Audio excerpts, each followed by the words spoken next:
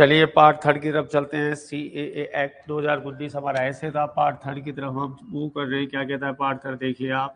पहली लाइन देखिए, इसकी नागरिकता अधिनियम दो हज़ार उन्नीस एक संशोधित और विस्तारित रूप है। सिटीजन अमेंडमेंट एक्ट 2019 जो इस एक्ट का नाम है, सिटीजन अमेंडमेंट एक्ट, जो संशोधित हुआ था 2019 is an amended and extended form is an amended and आएगा यहाँ article and amended and extended विस्तारित रूप है उस 2055 वाले का extended form पहली line citizen amendment act 2019 is an amended and extended form of law कानून का एक विस्तारित रूप है उस लॉ का, उस एक्ट का। जो 2000 सॉरी उन्नीस में बना था।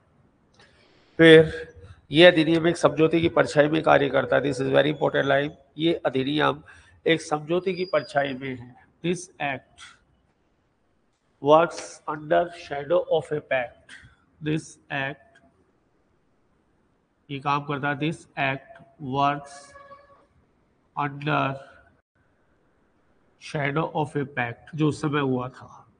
शेडो ऑफ़ ए पैक्ट ये अधिनियम एक कानून की परछाई शेडो ऑफ़ ए पैक्ट एक समझौते की परछाई में काम करता है।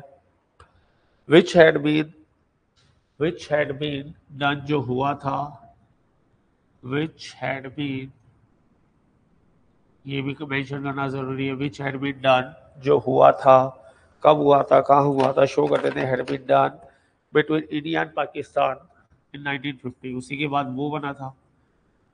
पार्टीशन के बाद की कहानी है between India and Pakistan India and Pakistan in 1950 सन को मेंशन करना ज़रूरी है।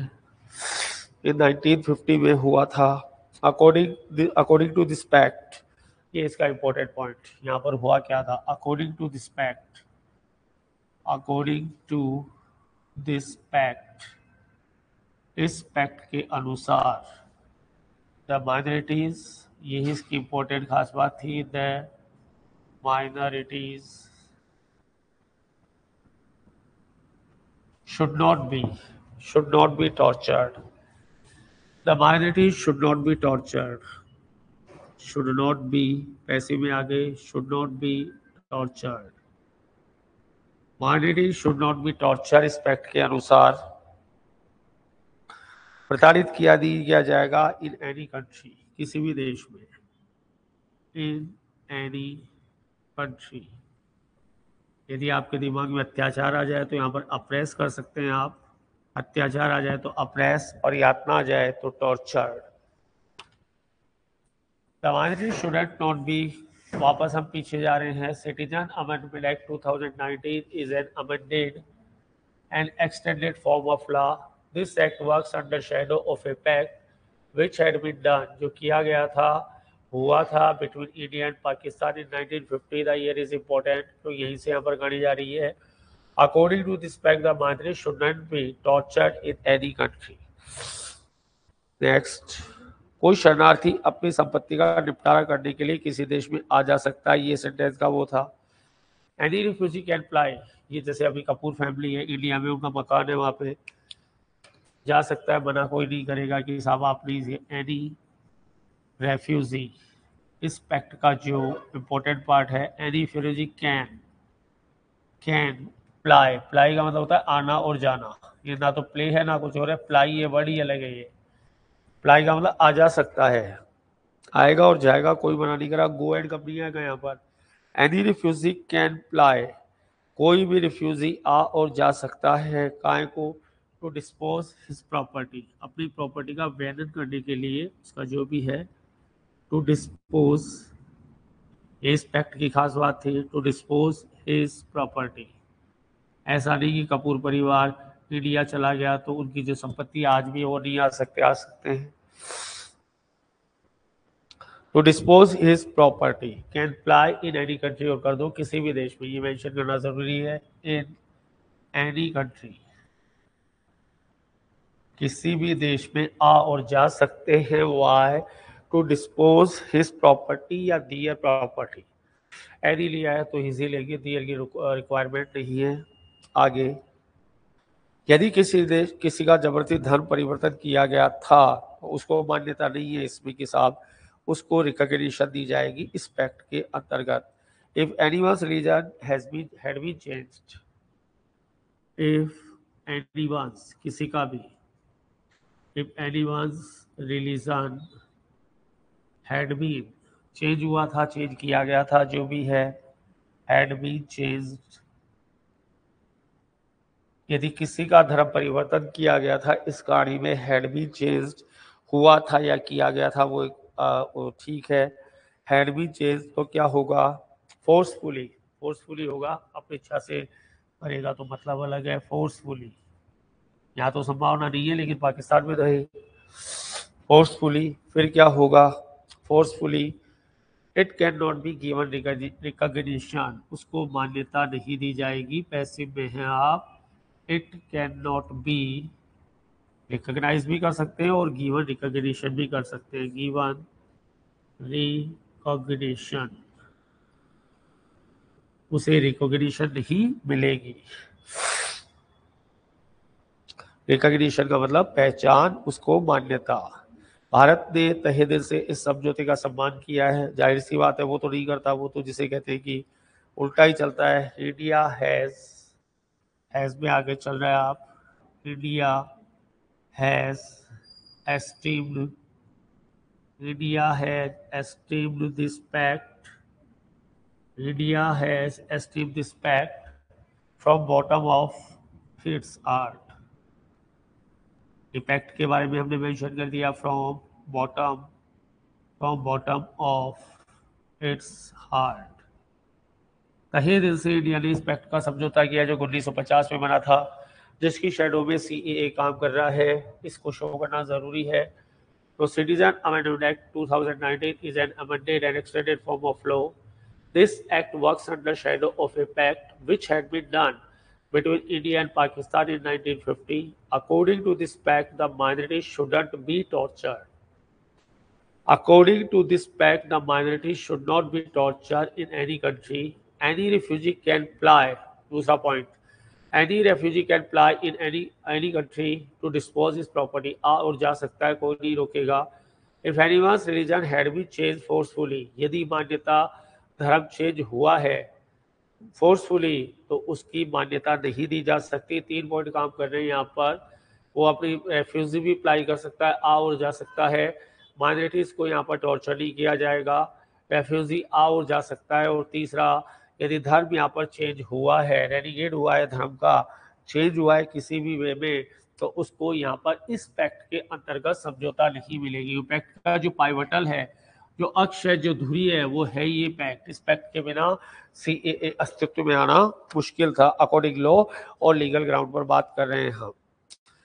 इस अधिनियम के अनुसार कोई व्यक्ति पड़ोसी मुल्कों से भारत में 2014 तक आ गया है तो पहला सिटीजन देने की आपकी वो तरीका।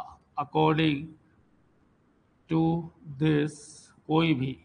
According to this this act according to this act पहला मान्यता जो देगा उसका बेस देखिए आप, इसको आपको याद भी रखना है। If any person has entered आ गया है।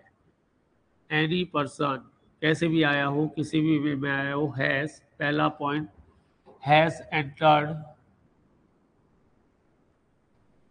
entered India into नहीं आएगा। एंटर्ड इंडिया यदि कोई भी इंसान इंडिया में 2014 तक आ गया है till 2014 entered India till till का मतलब तक till 2014 पहला point according this CAA till 2014 from neighbourhood countries ऐसा नहीं अमेरिका से आ गया हो फ्रॉम ये आसपास वाले देश, बर्मा हो गया, अपना नेपाल हो गया, जो भी अपने आसपास बांग्लादेश हो गया नेबरहुड ये इसकी पहली नेबरहुड कंट्रीज़ यदि आसपास के देशों से 2014 तक कोई भी नागरिक आ गया then he can not be assume as refugee तो इसे रेफ्यूजी नहीं समझा जाएगा। पहला पॉइंट देन उसे रेफ्यूजी नहीं समझा जा सकता। He can not be assumed ऐसे में है आप अज्यूम्ड एज रेफ्यूजी उसे आप रेफ्यूजी का दर्जा नहीं देंगे अज्यूम एज रेफ्यूजी यानी 2014 तक है। उसके बाद आया है तो रेफ्यूजी की कहानी चली रही है। सब बांग्लादेश रेफ्यूजी हैं। 2014 के नेबरहुड कंट्री से कोई भी पर्सन यहाँ पर आ गया है तो उसे रेफ्यूजी नहीं माना जाएगा। उसे शरणार्थी का दर्जा नहीं होगा। उसके बाद आया तो कहानी कुछ और कहती है। फिर उसको शरणार्थी, वह व्यक्ति नागरिकता प्राप्त करने का अधिकारी है। That person deserve to gain citizenship वही पर्सन जो यहाँ पर आया है। दैट पर्सन वो डिजर्व करता है। वो डिजर्व करता है क्या? To get to gain citizenship of India to gain citizenship of India वह भारत की नागरिकता प्राप्त करने का पूर्ण अधिकारी है कौन पर्सन जो 2014 तक इंडिया में आ गया है, पड़ोसी देशों से, कहीं और से नहीं। इस अधिनियम अनुसार कोई व्यक्ति एक से छह वर्ष तक भारत में रह रहा हो। दूसरा पॉइंट पॉइंट तो बताने पड़ेगी एक्ट हमारा यही है, हमारा थ्योरी यही है। तो आपको ये पॉइंट्स याद भी रखने पड़ेंगे अकॉर्डिंग टू दिस एक्ट दूसरा कौन सा पर्सन आएगा, वो देखिए आप। अकॉर्डिंग टू दिस एक्ट कोई भी person any person has been living in any person अब दूसरा पॉइंट आ गया एनी पर्सन पहला पॉइंट उधर है any person has been living in has been living in India Bharat में रह रहा है। From one two six year from one two six years एक से लेके छह साल तक। कोई भी कंट्री कोई भी दे, कोई भी पर्सन यदि एक से लेके छह साल तक रह रहा है यहाँ पर for one year to six year या from one year to six year तो क्या होगा? The dweller of three countries neighbourhood countries का ना, पास वाले ऐसे लोग जो यहाँ पर छह साल से रह लेकिन वो है यहाँ के अपने अड़ोस पड़ोस से। वो लोगों को ड्वेलर का मतलब रहने वाला। द ड्वेलर्स ऑफ़ यड़ोसी पड़ोसी उनकी कहानी है और बाहर नहीं है, और कोई नहीं है। इसराइल से नहीं आएगा, वो नहीं चलेगा यहाँ पर। Neighbourhood countries the dwellers of neighbourhood countries जो अड़ोसी पड़ोसी हमारे देश है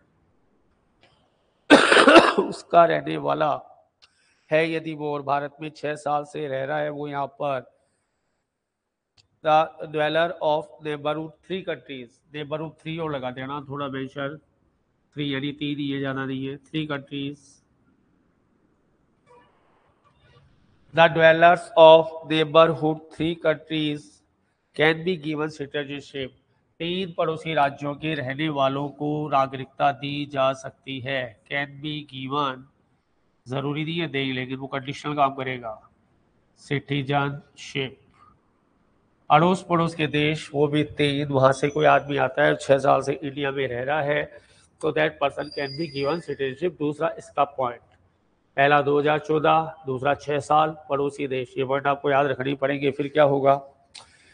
इस परिदृश्य में कोई व्यक्ति कानून का उल्लंघन करेगा तो उसका पंजीकरण रद्द हो जाएगा। ये इसका अगला point if any person violates law if any person कोई भी पर्सन जिसको ये दिया गया, ये नागरिकता दी गई एनी पर्सन वॉयलेट्स कंडीशनल है, ऐसे नहीं है हमारी तरह वॉयलेट्स दिस कोई भी पंजीकरण को रद्द करेगा violates law in this scenario इसका कानून जो भी violate this law in any scenario किसी भी परिदृश्य में, किसी भी पॉइंट ऑफ़ व्यू से, कुछ भी लिख देना any point of view in any scenario तो क्या होगा? रिज़ल्ट देखिए आप इसकी कंडीशन चल रही है is registration will be cancelled ये इसका पॉइंट इज़ जो भी किया है इज़ रजिस्ट्रेशन इज़ रजिस्ट्रेशन उसका रजिस्ट्रेशन पंजीकरण जो सीए के लिए किया गया, नागरिक registration will be cancelled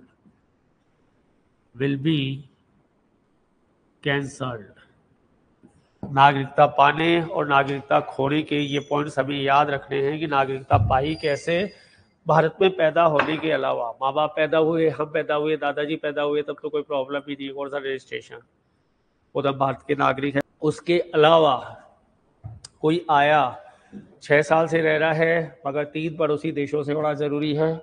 पहला काम और दूसरा काम है 2014 तक वो आ गया तो उसे रेफ्यूजी नहीं माना जाएगा, उसे भारत की नागरिकता मिल जाएगी सीधी सीधी एक अच्छी कहानी। नेक्स्ट चलिए। शरणार्थी को भेदभाव और मानसिक पीड़ा का सामना नहीं करना पड़ेगा, एक अच्छी लाइन सी ए आने से जो बेनिफिट हुआ है, वो देखिए आप, शरणार्थी बार बार रोज रोज टॉर्चर नहीं होगी, क्या कह रहे हैं ये? The refugees will not have to be नहीं करना पड़ेगा किसके द्वारा हमें पता नहीं the refugees will have not to be faced. The refugees will have not to be faced. Will have not to be faced. क्या सामना नहीं करना पड़ेगा वो देखिए आप भेदभाव और मानसिक पीड़ा, किससे लिखे तो यार फेस्ड डिस्क्रिमिनेशन क्या करें आप नीचे हो तो ले आओ। Discrimination and discrimination and discrimination and mental torture. Mental torture का एक और वर्ड कर लेना एक्सक्रिएशन मानसिक पीड़ा। नहीं, वही लिखना। ले गया अनुज एक्सक्रिएशन यहाँ पर मेंटल टॉर्चर भी कर सकते हैं। एक्सक्रूशन सीधा एक वर्ड है, मानसिक पीड़ा का। एक्सक्रूशिएशन भी कर सकते हैं और मेंटल टॉर्चर भी कर सकते हैं। मेंटल टॉर्चर अब क्या नहीं करना पड़ेगा? रेफ्यूजीज को आपके भेदभाव और मानसिक पीड़ा का सामना नहीं करना पड़ेगा। पैसे में है। Will have not to be faced किसके द्वारा नहीं करना पड़ेगा। Will have not to waste by such low way गरिमा के साथ अपना जीवन जिएँगे। ठीक है, एक और उनका benefit they will they will lead life वो गरिमा के साथ अपना जीवन जिएँगे। They will lead life with glory glory का मतलब गरिमा, अपनी पूर्ण इज़्ज़त ग्लोरी भी कह सकते हैं। और आपको वहाँ पर मान मर्यादा याद आ जाए तो आप डिग्निटी एंड डिकोरम भी कर सकते हैं। दो वर्ड हैं आपके पास। इस परिप्रेक्ष्य में वो भी एप्लीकेबल है, ये भी एप्लीकेबल है। इस सी से जो फ़ायदा हुआ है रेफ्यूजीज को डिस्क्रिमिनेशन और डिस्क्रिमिनेशन और मानसिक पीड़ा का सामना नहीं करना पड़ेगा और वे एक सम्मानजनक जीवन जिएँगे सी ए के साय में। आपको दो की प्रॉब्लम्स हो गई। तीनों देशों के रहने वाले अवैध नागरिक को अधिकारों से वंचित नहीं किया जाएगा। हालाँकि वो अवैध है। लेकिन उनको जो है लीगल बना दिया गया इस कानून से। ये थे तो पहले तो अवैध ही थे, प्रॉब्लम ही ये थी उनकी, यही तो मुद्दा था और मुद्दा क्या था?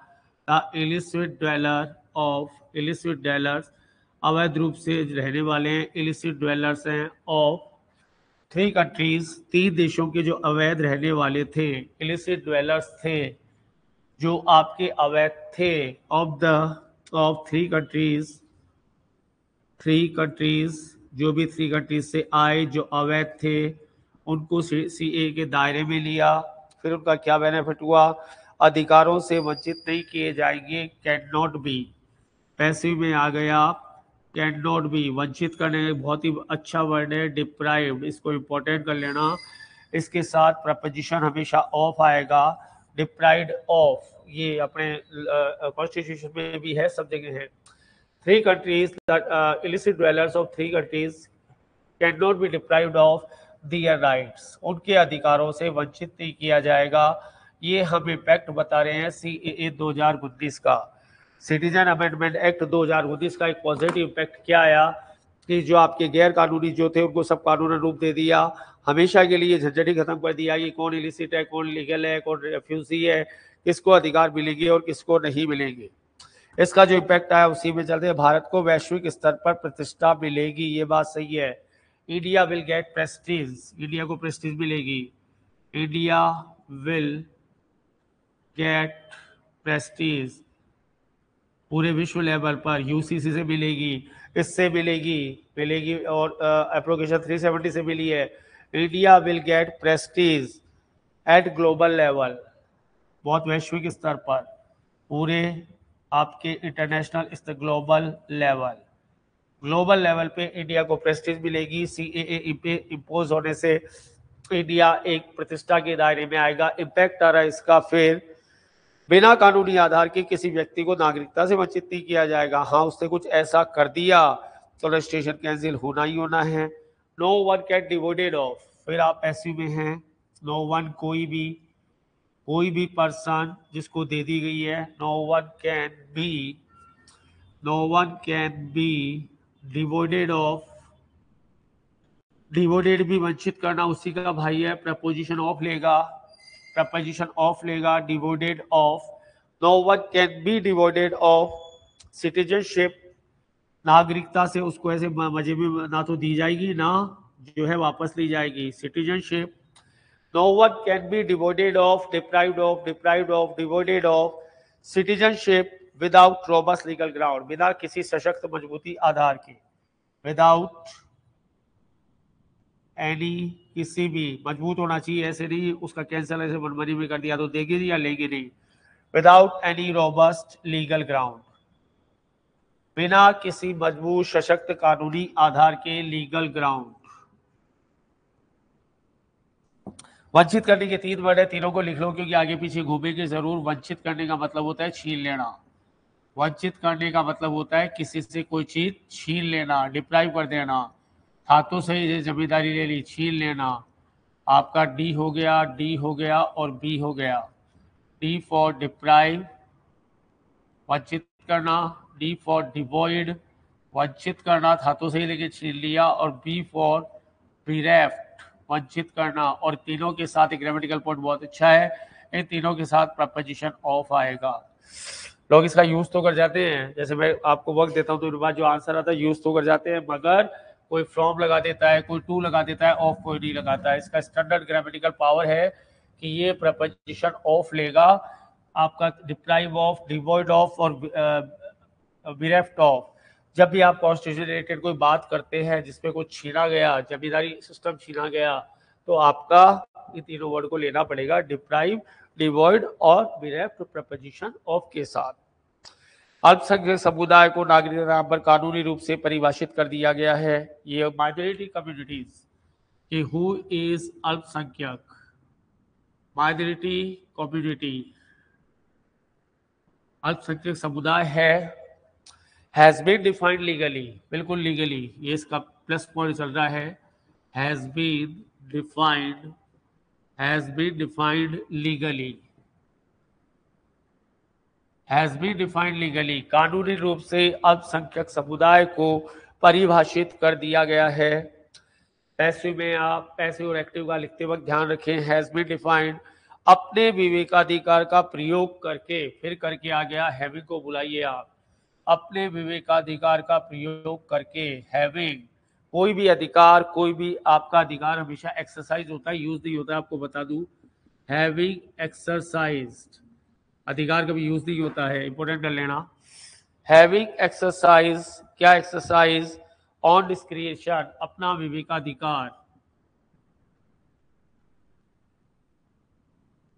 अपने विवेकाधिकार का प्रयोग करके डिस्क्रिशनरी पावर होती है, जैसे कोर्ट में करे तो करे, नहीं करे तो नहीं करे, कोई पावर नहीं है, उसका डिस्क्रिशन है complete having exercise on discretion अपने विवेकाधिकार का प्रयोग करके the government of India can abrogate registration वो कर सकती है, विवेकाधिकार का। उस पर बाउंडेड नहीं है कि आप ऐसा करने के लिए या नहीं करने के लिए बाउंडेड हैं। The government of India Bharat सरकार क्या कर सकती है? कैन भी यूज़ कर सकते हो, कैन और मे में से कोई सा एक। कैन क्या करवा सकते हो आप? कैन एब्रोगेट एब्रोगेट यानी रद्द करना। एब्रोगेट यानी जो भी दिया था वापस ले सकती हो। एब्रोगेट क्या एब्रोगेट कर सकती है वो? Registration of registration of OCI card धारक। ओसीआई का फुल फॉर्म देखना है। एब्रोगेट रजिस्ट्रेशन ऑफ़ ये जो सिटीजनशिप का है registration of OCI card holder OCI card holder का मतलब जिसको नागरिकता मिली है। OCI card holder OCI card holder को जिसको इसके अंतर्गत आपकी मान्यता मिली थी, उसका रजिस्ट्रेशन भारत सरकार अपना विवेकाधिकार प्रयोग करके किसी भी समय कंडीशनल दिया था, वो इसको एब्रोगेट कर सकती है, वो रद्द कर सकती है, पूरा का पूरा पावर गवर्नमेंट ऑफ़ इंडिया को है, वो अपने विवेकाधिकार का कभी भी प्रयोग कर सकती है, उसे बाउंडेड नहीं कर सकती। आपने ऐसा क्यों किया? कोई क्वेश्चन मार्क नहीं कर सकता है। इसलिए कोई स्वेच्छा से कानून का उल्लंघन नहीं कर सकता है। हाँ साहब, जो उनको वहाँ पर आप कहते आप कंडीशन है नो वन कैन यहाँ पर कोई भी no one can flout violate आपने यूज़ कर लिया। Flout any rule and regulation flout उल्लंघन करना, आपका वॉयलेट करना तीनों ही वर्ड लिख लो तीनों यहाँ पर काम आ रहे हैं और infringe infringe any rule and regulation any कोई भी कानून का नियम, कानून का रूल एंड रेगुलेशन विलिंगली आप बाई चांस हो जाए तो ठीक है, उसका देखते हैं फिर। विलिंगली का मतलब मेरी इच्छा है, मैं इस कानून को तोड़ूँगा। कानून तोड़ने के, कानून उल्लंघन करने के ब्रेक वर्ड नहीं आएगा। यहाँ पर आपके वी आई एफ़ यूज़ होगा। वॉलेट इन्फ्रिंज और आपका फ्लाउट जिसका सीधा सीधा मतलब है आपका कानून को तोड़ना, कानून का उल्लंघन करना। वॉलेट यूज़ कर सकते हैं आप। आप इन्फ्रिंज यूज़ कर सकते हैं आप। आप फ्लाउट यूज़ कर सकते हैं। ब्रेक नहीं आएगा कि break the law, that is a wrong कानून के लिए तोड़ना। कानून तोड़ने को आपका वी आई एफ़ यूज़ करेंगे। कोई भी सीट बेल्ट नहीं लगाया तो ट्रैफ़िक रूल्स हमारा इन्फ्रिज है फ्लाउट है वॉयलेट है। हम कोर्ट में मोबाइल लेके चले गए तो कोर्ट के प्रोटोकॉल का वॉलेशन है इन्फ्रिजमेंट है और फ्लाउटिंग है। आनंद फानंद में किसी को नागरिकता नहीं दी जा सकती। ऐसा नहीं सिटीजन किसी को भी दे दी। सिट उसका पूरा एक बाकायदा सिस्टम होता है citizenship can not be citizenship can not be citizen cannot be given in hurry curry जल्दबाजी में आनंद फानन में किसी को भी नागरिकता नहीं दी जा सकती। आनंद फानन दूसरे बार आ रहा है हमारे पास। स्पीडली हरीश कैरी नहीं कर सकते आप। Citizenship can not be given in hurry curry आनंद फानन में आप सिटीजनशिप नहीं दे सकते। तो the applicant will be scrutinise thoroughly, जो भी आपका एप्लीकेंट है, आवेदक है, उसकी पूर्ण रूप से जाँच की जाएगी। ऐसे नहीं कि साहब आए और सिटीजनशिप ले गए आप। द एप्लीकेंट जो भी आवेदक है एप्लीकेंट है, जो भी एप्लीकेंट है, आवेदक है, उसकी क्या की जाएगी? थरोली, उसकी स्क्रूटनी होगी उसके फॉर्म की। The applicant can be scrutinise आप पैसिव में हैं, ध्यान रखना स्क्रूटिनाइज्ड स्क्रूटिनाइज अच्छी तरीके से थरोली कि भाई साहब छः साल से हो, आपने यहाँ पर किसी से शादी की है, आप किस पर्पज से आए हो? ऐसे तो नेपाली रोज आते हैं, यहाँ हमारे हर कोई सिटीजनशिप थोड़ी ले लेगा। The applicant can be scrutinise thoroughly applicant की थरोली जाँच की जा सकती है और विल बी में करो तो विल बी में की जाएगी। मैंडेटरी कर दो विल बी स्क्रूटनाइज थरोली उसकी अच्छे से जाँच की जाएगी और every citizen will have to fill the bill to garner citizenship हर नागरिक को, जो अपने आप को नागरिक कहता है, उसे शर्तें पूरी करनी पड़ेगी। एवरी सिटीजन हर नागरिक को विल हैव टू एक फ्रेज आ रही है फ़र्स्ट टाइम फ्रेज काम में ली है विल हैव टू ऐसे ऐसे में कमी आती है फ्रेज काम में, क्योंकि कंटेंट सीधे होते हैं। Will have to fill the bill fill the bill का मतलब होता है शर्तें पूरी करना। फिल द बिल शर्तें पूरी करना। फुलफिल कंडीशन भी कर सकते हो, कोई दिक्कत नहीं है। Every citizen will have to fill the bill every citizen will have to fill the bill उसे शर्तें पूरी करनी पड़ेगी टू गार्नर सिटीजनशिप नागरिकता प्राप्त करने के लिए. To garner citizenship to garden garner citizenship नागरिकता प्राप्त करने के लिए हर इंसान को एक स्क्रूटिनी प्रोसेस से गुजरना पड़ेगा. यदि वो स्क्रूटिनी में अपनी फिल द बिल कर देता है तो मे भी पॉसिबल उसे नागरिकता मिल सकती है, लेकिन यदि वो रूल को तोड़ देगा तो भारत सरकार डिस्क्रिप्शन पावर को यूज़ करके उसकी नागरिकता किसी भी समय कैंसिल कर सकती है। उसे कोई क्वेश्चन नहीं करेगा। फिर क्या हुआ? Justified justice has been administration with eastern state न्याय संगत न्याय, ये भी अच्छा वर्ड है, इसको भी आप याद रखोगे, बोलने में बड़ा अच्छा लगता है। जस्टिफाइड जस्टिस न्याय संगत न्याय। पारदर्शी न्याय, सशक्त न्याय। कोई भी जो भी अच्छा वर्ड लगे आपको जस्टिफाइड जस्टिस क्या हुआ? हैज़ बीन एडमिनिस्टर्ड वो कर दिया गया है। हैज़ बीन न्याय हमेशा एडमिनिस्टर होता है। Has been administered had been administered किसके साथ? पूर्वी जो अपने वो है, वहाँ पर ये प्रॉब्लम ज़्यादा है। With eastern state with eastern state पूर्वी राज्यों के साथ ये नागरिकता के कारण, इस सिटीजनशिप अमेंडमेंट के कारण एक न्याय संगत न्याय कर दिया गया है एस्टर्न स्टेट के साथ, क्योंकि वहाँ पर ये प्रॉब्लम थोड़ी सी लूब लार्जर थी, खतरनाक थी अपने राजस्थान के, या यहाँ पर तो इतनी प्रॉब्लम ही नहीं है। कर दिया गया था। The optimistic law has been impose in the whole India simultaneously और ये आशावादी कानून this optimistic law this optimistic this optimistic यानी होपफुल भी कर सकते हो ऑप्टिमिस्टिक का मतलब आशावादी दिमाग से स्लिप हो जाए तो वर्ड तो जोड़ना है, क्योंकि अच्छा लगता है, आशावादी है। दिस ऑप्टिमिस्टिक या होपफुल लो। हैड बीन कर दिया गया था। Had been impose had been impose in the whole of India पूरे भारत में या होल के बाद ऑफ़ आएगा, होल इंडिया नहीं आता है, और लगाओगे तो नहीं आएगा, होल ऑफ़ इंडिया कैसे एक साथ, ऐसा नहीं टुकड़ों में किया हो साइमल्टेनियसली साइमल्टेनियसली एक साथ सी ए अमेंडमेंट एक्ट दो हज़ार उन्नीस काफ़ी शर्तों को इम्पोज करते हुए एंटायर इंडिया में लागू कर दिया गया था एंटायर इंडिया में इम्पोज कर दिया गया था कुछ अच्छी कंडीशन के दौरान, कुछ अच्छी कंडीशन के लेते हुए यदि उनका वॉयलेशन हुआ तो सिटीजन कैंसिल की जा सकती है भारत सरकार के डिस्क्रिप्शन के अंतर्गत। फिर क्या हुआ? एक कहानी और और आखिर में तो बढ़ाई करनी पड़ेगी अभी। इस पैराग्राफ में, आज के पैराग्राफ में, ये कानून सूरज की किरणों के समान है। This law akin the rays of sun बिल्कुल सही बात है, कहीं लगा दो, इसमें क्यों लगाओगे आप? दिस लॉ अकिन टू कभी सूरज, कभी चंद्रमा, कभी ध्रुव तारा, कभी ये तारा, कभी वो तारा this law is akin to rays of the sun सूरज की किरणों के समान है। रेज ऑफ़ द सन किसी भी कानून के लिए लगा दो, जब भी तीन अपन ने लिखे थे, वहाँ लगा दो। यूसीसी में लगा दो। कुछ स्टैंडर्ड पैराग्राफ तो याद रखना, जैसे पेन रुकने लगे ना और स्टैंडर्ड पैराग्राफ को यूज़ कर लेना।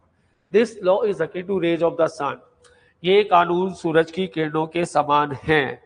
Which enlight the entire country entirely which enlight देखो कैसे लिखा हमने। विच जो प्रकाशित करेगा विच विल कर दो। विच विल एनलाइट एनलाइट का मतलब होता है प्रकाशमान कर देना। एज ए वर्ब काम कर रहा है लाइट वर्ब नहीं है। Which will enlight which will enlight the entire country entirely entire country the entirely entire हमारा एग्जेक्टिव है। एंटायर कंट्री लिखने का प्रेजेंटेशन देखो। एंटायर हमारा एग्जेक्टिव है और एंटायरली हमारा एडवर्ब है। पूरे देश में एक साथ। एंटायरली एंटायरली पूरे देश में कंप्लीट देश में, पूरे देश में समान रूप से, एक साथ से एंटायरली ये जो है पूरा प्रकाशित करेगा एक साथ, क्योंकि आपने सर की उपमा दी है, सर पूरे देश में एक साथ आता है तो कानून भी पूरे देश को एक साथ आच्छादित करेगा। फिर क्या हुआ?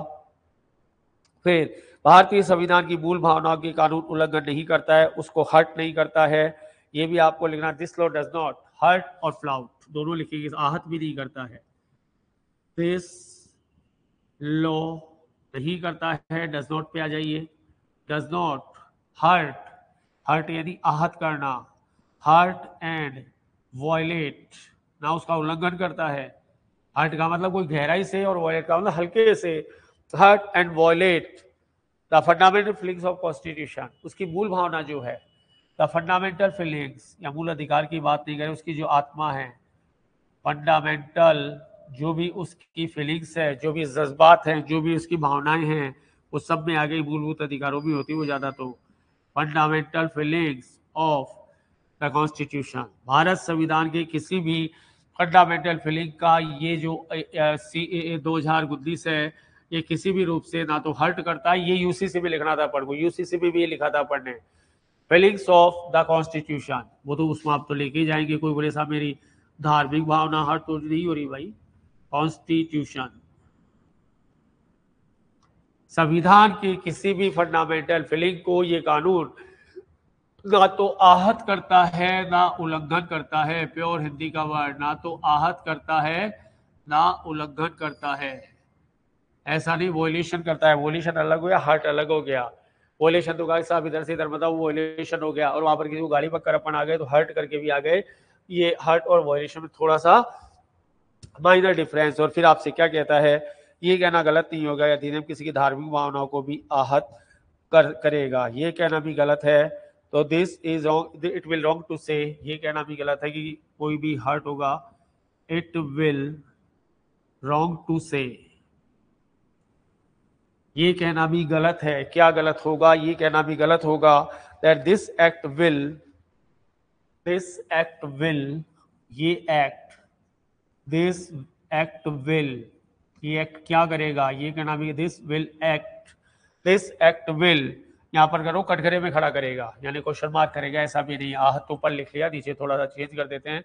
This act will put anybody's किसी का भी एनीबडीज क्या है एनीबडीज रिलीजन रिलीजियस फीलिंग्स धार्मिक भावना रिलीजियस फीलिंग्स जो भी धार्मिक भावना है रिलीजियस फीलिंग है, उनको कटघरे में खड़ा कर देगा क्वेश्चन मार्क कर देगा, आहत कर देगा, मज़ाक उड़ाएगा, ऐसा कुछ नहीं है इनटू डॉग ये कहना भी बिल्कुल गलत है। ना भारतीय संविधान की मूल भावना को आहत करेगा, ना किसी की फीलिंग्स को आहत करेगा, ना रिलीजन को आहत करेगा। सी ए दो हज़ार उन्नीस कुछ नहीं कर रहा है। सभी नागरिकों को एक शेडो में ला रहा है, एक परछाई में ला रहा है, ताकि रेफ्यूजी की प्रॉब्लम आपके अवैध लोगों की प्रॉब्लम इलिसिट नागरिकों की प्रॉब्लम सारी प्रॉब्लम को वाइप आउट करने के लिए जो ब्रह्मास्त्र आ रहा है, उसका नाम क्या है? सी ए ए दो हज़ार उन्नीस। क्लियर आता है एकदम, एक पार्ट और फिर नया कल ऐसे इसके साथ। क्लियर अशोक क्लियर चल रहा है बिल्कुल।